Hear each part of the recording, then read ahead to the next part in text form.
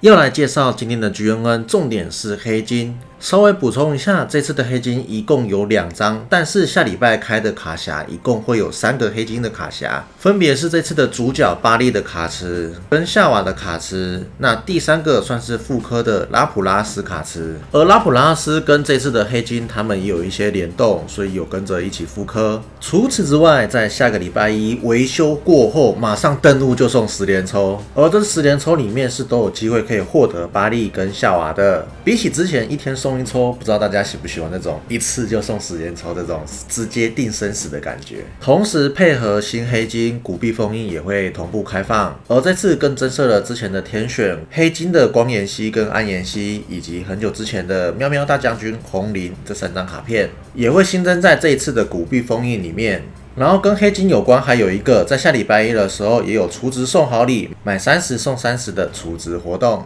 好啦，那这边再来要介绍今天的主角，就是黑金的部分。这一次一共有两张新黑金，我自己认为夏娃是比较偏向于队员性质的，而巴利是一个很强的队长。然后这边也先来聊，那巴利当做队长的话，跟拉普拉斯还有一些联动，这两张当做队员就可以哦，不见得一定要巴利当队长，就会有额外必然延长两秒的转足时间，以及最左方的拉普拉斯攻击力还会再提高一千点。再配合拉普拉斯他自己作为队员的话，也会有幻象跟真实。虽然幻象没有闪避的，因为闪避是要拉普拉斯当队长才有，但是真实的情况，他自身攻击力还在提高一点五倍，再配合攻击机制提高一千点，这也算是蛮有利的一个小增幅了。而我自己更满意的是，这次的巴利跟夏娃和拉普拉斯都有不同的组合技能。拿拉普拉斯来说，他当做队员其实蛮尴尬的，因为第一招幻象不能闪避，那基本上价值就大打折扣。但是我有问官方，官方回我说组合技能是拉普拉斯的第一招，那等于说组合技能就直接把这一招当做祭品，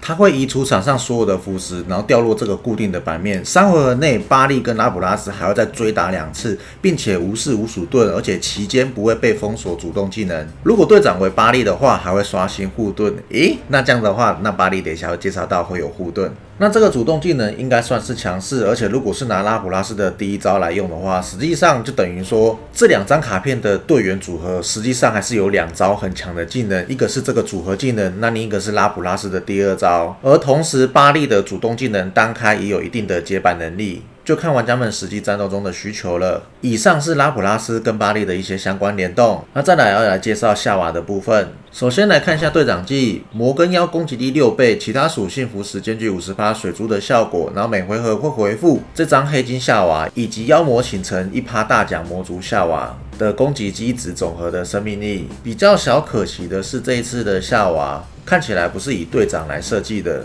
因为夏娃的队伍技有三个能力。这次的地狱级克鲁菲跟夏娃当做队员的话，那克鲁菲的生命攻击会提高两倍，那技能 CD 会减一，这个比较跟队长没有关系，这是第一个哦。那第二个是拿之前火属性的那个夏娃当队长的话，那如果你有拿这次的黑金夏娃当队员，那夏娃还会多了一些额外的能力。可是这个跟这次的黑金当队长也没有关系。那再来第三个是这次黑金的夏娃当做队员的时候，会有一些额外的效果。首先，消除四颗符石就会获得金果，那每回合最多可以获得两个，那最多是同时四个金果。四个金果的时候，夏娃攻击力会再提高一点五倍，以及夏娃直航消除五颗水符石的时候，那最左方的那个夏娃数量有几个，夏娃就会再追打几次水属性攻击。这一招的好处是，当做队员也有的话，就算是一个还 OK 的能力了。但这些都跟当队长技没有一些太大的关联。实际上，他当队长第一个看到的没有背血，也没有烟庙。这样子的话，可能以现在的环境来看，夏娃比较不适合拿来当做队长使用。那再来，关键就是主动技能的部分。这边直接来看一下主动技能。首先，每回合的夏娃都会增加一个金果。那如果队长是妖魔倾城的那个夏娃的时候，每回合那个夏娃还会再增加一个禁果。那第二点比较没有关系。那第三个是必然延长一点五秒的转租，以及魔族成员可以克制木属性的目标。另外，队伍中有两个以上的魔族成员，连级还会提高四十趴的攻击。其实简单来看，这个就像是一个内建魔族专用的血未来，而且还附带一点五秒的必然延长秒数。然后第四点应该就是你魔族成员对木属性还会额外再提高一点五倍的伤害，以及关闭的时候一个金果就可以直接增加三个 combo，那最多四个金果就是加十二 combo，并且四个金果的时候，所有成员的攻击还可以无视攻前盾。大概没有意外的话，夏娃会是之后魔族一个很好的先发队员，因为连级的伤害提高四十趴。就算是很有力的增伤效果，然后更不要说还有必然延长秒数，以及关闭的时候还有一些额外的附加效果。再配合刚刚夏娃四个金果会有一点五倍的自身攻击，那那其实夏娃给予的增幅伤害算是提高很多了。更重要的是，夏娃跟巴利也有组合技能，引爆场上所有的符石掉落固定的这个版面，三回合内还会增加九 combo。那三回合内，巴利跟夏娃的直航符石还会变化为魔族符石。呃，如果你队长是巴利的话，还会刷新护盾。那稍微辅助一下，刷新护盾是只有一回合的效果。而这个要说的话，就是夏娃它可以开启的时候，它技能不是可以关开吗？如果你开启之后，你夏娃的技能又跳起来的话，你是可以在它常驻状态的情况之下，再次发动这个组合技能。以搭配来说，算是也还不错的一个搭配，不会牺牲掉夏娃的主动技能。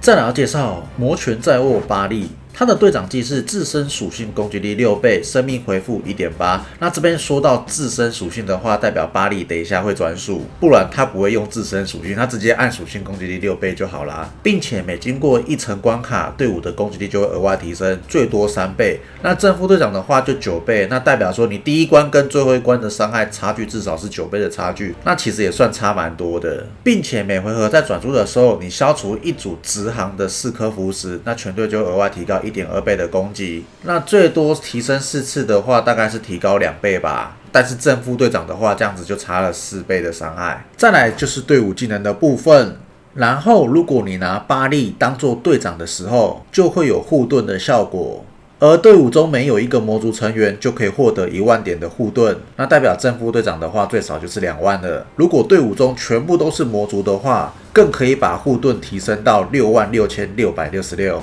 这个是拿巴利当做队长就有，再来有一个很特殊，如果你拿巴利当做队长。但是你队员有六个魔族的时候，全部成员的属性都会变成左方的第二位成员的属性，这其实算蛮特殊的。第一个可以这种整队变属性的纯色队，但好像也不是。但也是因为这一点效果，那巴利的队长技才是说自身属性攻击力六倍，然后生命恢复一点八。比较小可惜的是，如果全魔族的这个要求情况之下，那一点八的这个血量加成好像就刚刚好而已，而并不会说血量太破格。但是你们听可以全队转属性，这好像有一些不知道有没有什么新鲜的玩法诞生。再来，其他的队伍技能都是拿巴利当做队长级战友才会有的效果。首先。队伍中的巴利、夏娃、拉普拉斯，他们的攻击机值会跟随攻击机值最高的成员。那当然强调这是攻击机值，并不是像主动技团长梅尼奥达斯开启之后攻击机值可以爆冲这个。然后这边的引爆符石是你移动符石转完之后掉落完之后，你可以点选场上的一颗符石，你可以把它当做玛雅。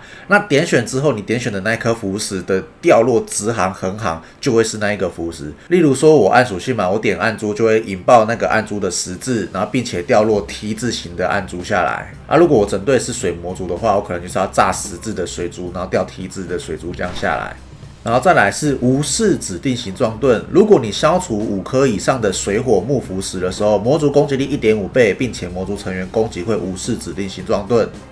那当然这五颗可能就是我可能炸水火木的话，这个就可以非常容易的达成。因为它这个没有限手消嘛，而且又有额外一点五倍的伤害提升，然后另外下一个消除五颗的光暗或者是仙符石的时候，魔族一样提高一点五倍的伤害，并且魔族成员有无视固定连击盾的效果。这边简单来说，如果我的巴利是暗属性，我可能就会消除五颗以上的水火木，先求一点五倍的增伤，然后去炸暗珠，然后这样子至少增伤可以吃好吃满，同时有无视拼图盾跟固定连击盾。而这个五颗以上的要求，再配合那个十字掉落，其实算是非常的容易达成。那这边再来看一下另一个背攻的部分，就是刚刚讲的一点五倍，然后你。水火木有一点五，那光暗星有一点五，额外还可以提高二点二五倍的伤害。那减伤的部分，巴利整队都有二十五趴的减伤，那算是一个有减伤、有护盾，也算有血量的一个队伍，并且受到敌人的反击伤害会减少八十五趴。